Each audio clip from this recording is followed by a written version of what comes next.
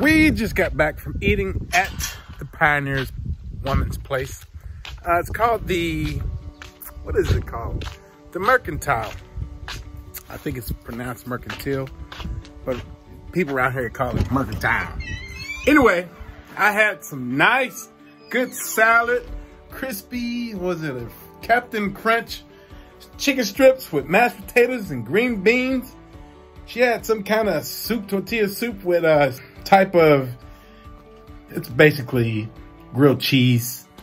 And she went upstairs and bought some pecan pie cookies. Yeah, it was great. I'm stuffed now. I don't even know what I was going to tell you. I was going to tell you something that was important.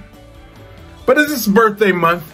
And so I'm trying to get all these birthday dinners out of the way. I only got two more to go. Tomorrow is the trunk and treat.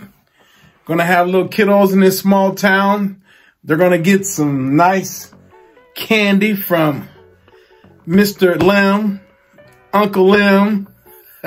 I'm about to make all these kids my nieces and nephews. And it's gonna be great pretty outside. The weather is just blowing. Let me tell you, we walked in this restaurant and there was nobody there. It was probably maybe 20 people, 20 older people, which is fine. But um, it's great to just be able to leave and do whatever. And, you know, this is a Friday. I remember Fridays used to be rough for me. And let's get deep for a second. Fridays were not good because I would have to go in and work all day Friday. Same thing uh, Saturday and Sunday. I worked for like two or three hours and then that was it. And Monday started all over. That's why I'm always trying to wish everyone a happy Friday. I know I had rough Fridays and now my Fridays are chill. You know, if I want to go play golf, I go play golf with John. John was like, are you going to play with me this morning? And I got the text right here. And I'm like, nah, bro, I think I'll be like I said, resting or working or doing something in the morning. I don't know. But, um, yeah. So for those who are at the end of the day and you're seeing this, congratulations, you made it.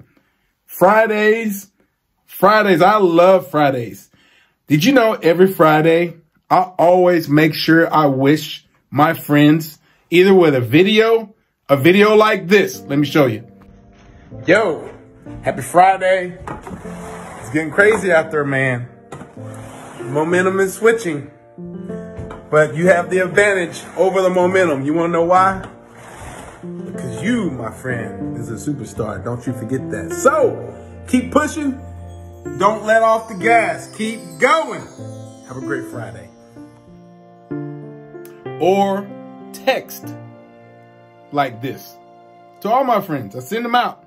I want to make sure that they, if they might not have a cheerleader at home, and what's a cheerleader? Not the ones you see on the sidelines.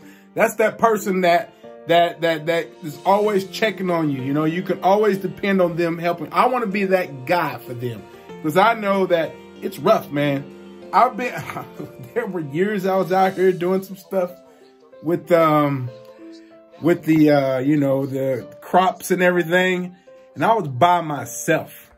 I was by myself, man. It was horrible. It was horrible.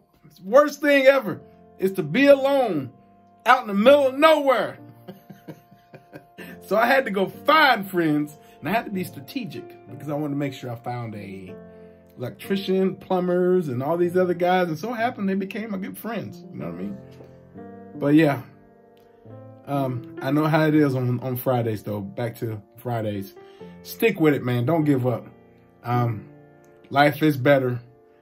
Um, strive to do better. Uh, you might be thinking about quitting your job and doing something different. Go for it. You know, you made this far. You should be all right. I used to think if I ever quit that job back in the day, it was going to be horrible. And then one time I start reading books, I start learning that, you know what, your life is about challenges. You're going to have challenges all day long.